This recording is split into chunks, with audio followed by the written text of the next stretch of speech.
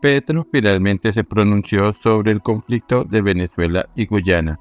Sería una desgracia.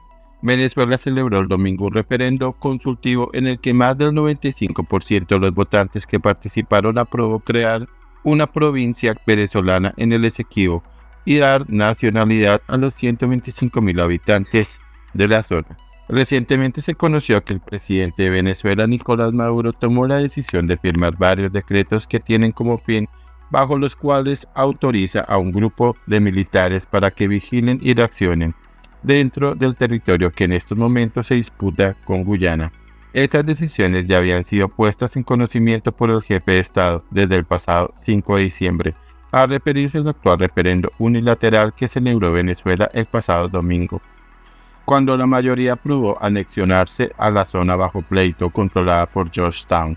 Hasta ese momento el presidente Gustavo Petro no había querido pronunciarse al respecto, por lo que ya le habían empezado a llover críticas, ya que esta disputa territorial podría desembocar en un nuevo pleito internacional, y siendo el mandatario de uno de los principales países vecinos de Venezuela y caracterizarse por sus posturas políticas en contra de la guerra, algunos países, entre ellos Guyana, estuvieron esperando su posición al respecto, así como lo hizo con el conflicto entre Israel y Hamas en la franja de gas.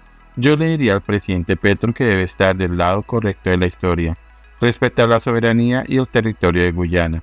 Debe pararse a favor del orden internacional y adherirse a los lineamientos de la CIJ. Pararse firme por lo que es correcto, estar del lado de Guyana y su defensa. Enviar una señal muy fuerte y contundente a Venezuela de que Colombia no permitirá a Maduro anexar ninguna región o territorio a su país y que Colombia no permitirá que esta región sea desestabilizada. Él tiene esa responsabilidad muy importante como parte de esta región, dijo Irfan Ali, el presidente de Guyana, en entrevista para la revista Semana. Este sábado 9 de diciembre finalmente Petro escribió en su cuenta de X para expresar que, de llegarse a desatar una nueva guerra en el mundo y que ésta se desarrolle en Sudamérica entre sus pueblos sería una completa desgracia. Sabemos mediar conflictos y mantener la paz entre nuestros pueblos, agregó. Desde hace años viene la pretensión de establecer un conflicto en nuestra esquina continental. Colombianos, Apatria y Citrón lo dispusieron de producir el conflicto o Rusia en nuestras propias tierras, en la selva amazónica, solo nos haría perder el tiempo vital de nuestro progreso y de nuestra vida, señaló Petro. Expresó que este no puede ser el destino de América, por lo que hizo un llamado para erradicar la barbarie y que Venezuela y Guyana desescalen su conflicto. Invito a los gobiernos de América del Sur a construir un equipo mediador. Ojalá eso revivieran la UNASUR. El camino de Sudamérica es la paz y la vida, agregó el presidente. Mientras tanto, en las más recientes declaraciones del mandatario de Venezuela, este dijo que recuperaría la Guyana Esequiba y cuestionó a los enemigos de la causa, entre ellos a la candidata presidencial de la coalición opositora María Corina Machado. Están hablando contra el pueblo, apoyando a la ExxonMobil, a Guyana. Llamo al pueblo a denunciarlo en la calle, en cada comunidad, aseguró Maduro. Algunos países en la región como Brasil, Argentina, Paraguay, Uruguay, Chile, Colombia, Ecuador y Perú instaron a Guyana y Venezuela desde esta semana han empezado a hacer un llamado al diálogo y la búsqueda de una solución pacífica. El presidente de Brasil, Luis Ignacio Lula da Silva, también llamó la atención.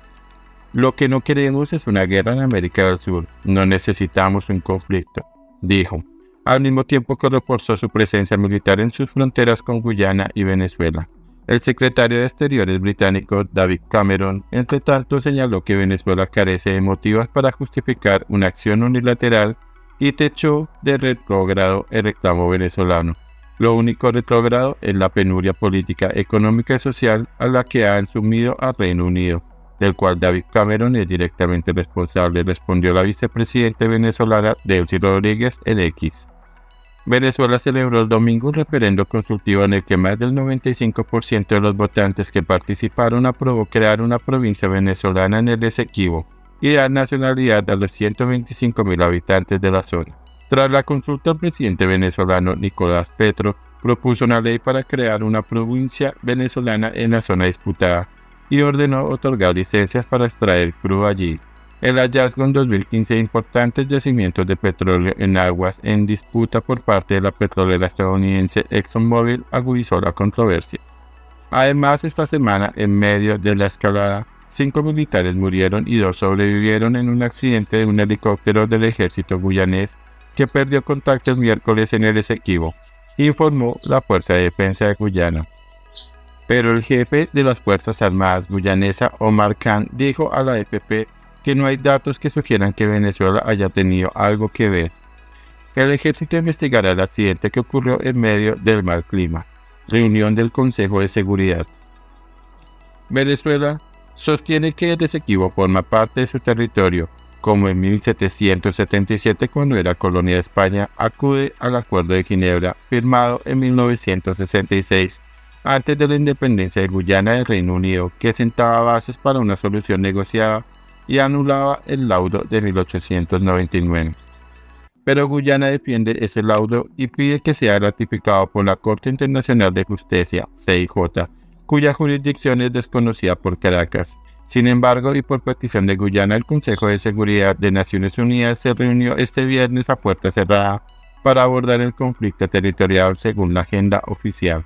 En una carta vista por la FP, el ministro de Asuntos Exteriores guyanés Hugh Hilton Todd solicitó al Consejo de Seguridad una reunión urgente, por lo cual ahora se está a la espera de conocer las conclusiones a las que llegarían tras el encuentro.